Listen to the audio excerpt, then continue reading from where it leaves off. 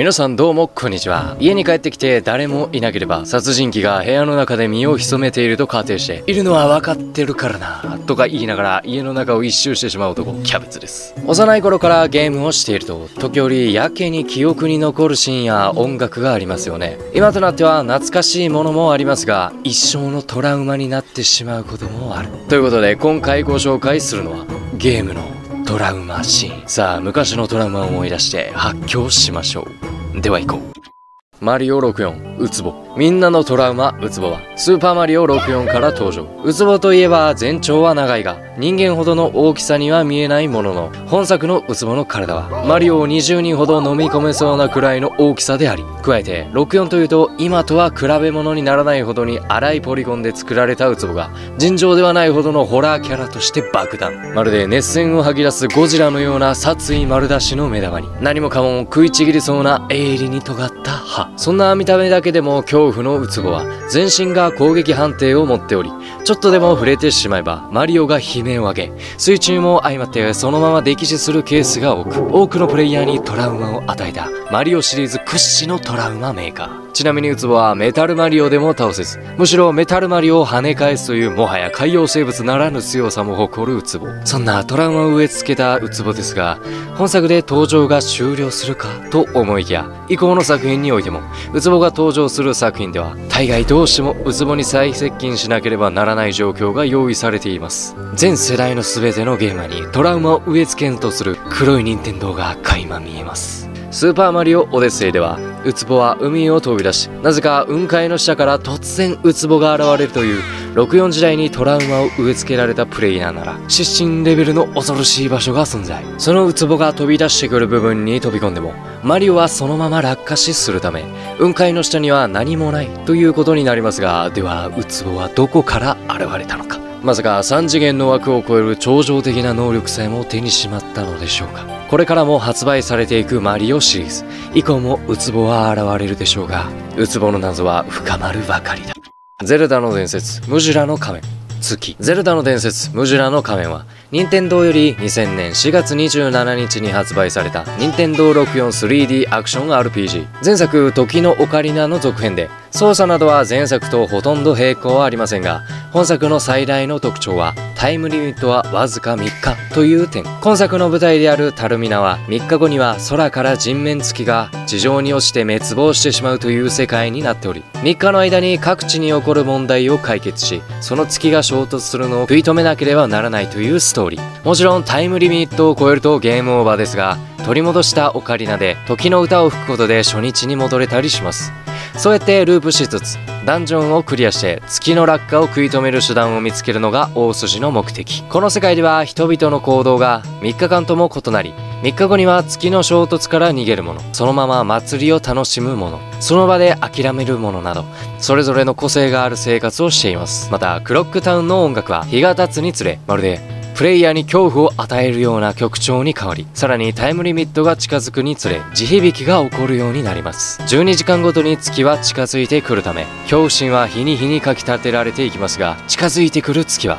我々が知っている普通の月とは全く異なりこの世の怒りを凝固させたかのような表情の月がだんだんと近づいてきます。月自体は意志のない存在ですが物語終盤ではラスボスに意志を与えられおおでは全部食う世界を全て食らい尽くそうという無作為で暴力的な意識を持ちただでさえ怖い本作に拍車をかける存在となっています。またこの月は開発当初このように表情はついておらず怖くはなかったのですが発売時にはこのような激欲表情がつけられてしまいました。CM も怖かった本作。当時の少年少女たちはほぼ100%このゲーム。ないしはこの月にトラウマを与えられたでしょう。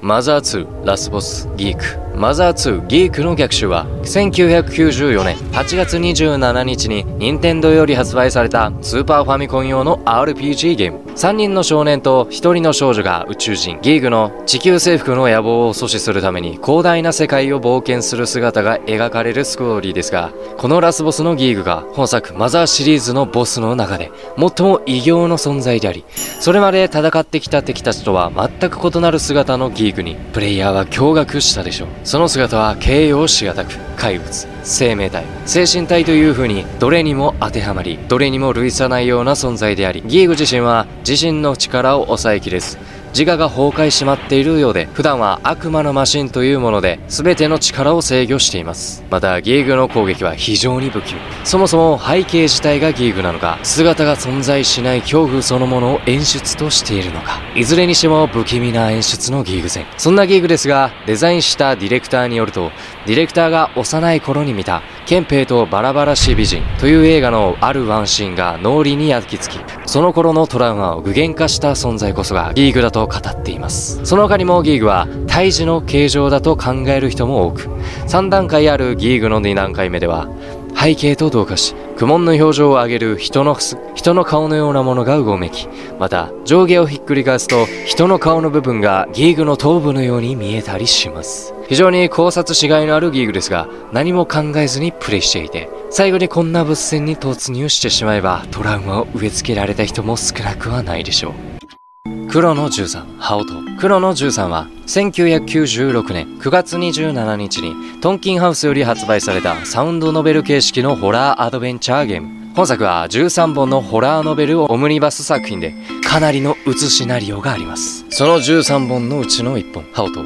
最も本作をうつゲーとして有名にさせた主犯でもあります。ハオトの主人公は女子学生。彼女は同級生からいじめを受け、挙句同級生たちにゴキブリを食べさせられてしまいます。そのトラウマのせいか、虫の羽音の悪夢に悩まされる日々。その後、現実でも追い詰められ、最後には大好きだった母親に包丁で殺害され、死亡。殺された彼女ですが、そこで彼女は自分の死の真相を思い出します。主人公はいじめに耐えられず、自殺を図ろうとしましたが、勇気が出ず、実は母親に殺してもらっていたのです。という事実をこの時点で思い出す主人公。死んでもなお考えているということは彼女は最初から死人だったということ。しかもその後主人公の死体は自室の壁に埋め込まれ今もゴキブリに食われ続けているというトラウマシーンまで。そして最後のシーンで主人公の意識は冒頭に戻り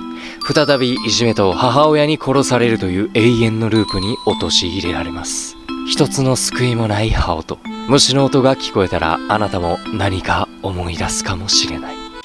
ゼノギアス。ゼノギアスは1998年2月11日にスクエアから発売された PS 用の RPG 今作に登場するソイレントシステム。これは本作のエリアエテメン暗記の中で登場するダンジョンのこと。ソイレントシステムは表向きは食料を生産する工場施設ですが実は非人道的実験の被験者。ウェルスを食料薬品向けに食料加工するという最終処分の施設であり人がぐちゃぐちゃにされてミンチになるシーンを垣間見ることができます。本作の主人公のフェイト、ヒロインのエリーは、この真実を知る前に、元は人間であったものが詰められた缶詰を食べており、真実を知った瞬間、衝撃が。主人公の仲間であるシタン先生だけはその缶詰を食べず、先生もどうだいとフェイに聞かれても、いいえ、私は遠慮しておきます。と真実を知っているかのような口ぶりで、二人の食事をただただ見ています。そして缶詰の生産ラインに移動した時、ようやく原料が人間であるということを解説してくれる非道なシタン先生。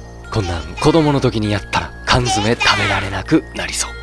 ということで、いかがだったでしょうか？結構閲覧注意なシーンがありました。今回ご紹介したゲームを知らない人が、この動画を見ることによってトラウマを植え付けられるという可能性もありますが、その被害については私、キャベツ責任を負えませんのでご了承ください。まあ、トラウマといえば、秋か夏に実家に戻った時、家の外壁にビッちり毛虫が張り付いていて失禁しそうになりました。以降毛虫を含めるうねうね系が苦手です。皆さんもトラウマがあればぜひコメント欄に書いてください。ではこの動画が良かったらチャンネル登録やグッドボタン Twitter や Instagram サブチャンネルも登録お願いします。ではでは次の動画で会いましょう。キャベツでした。ほなまた。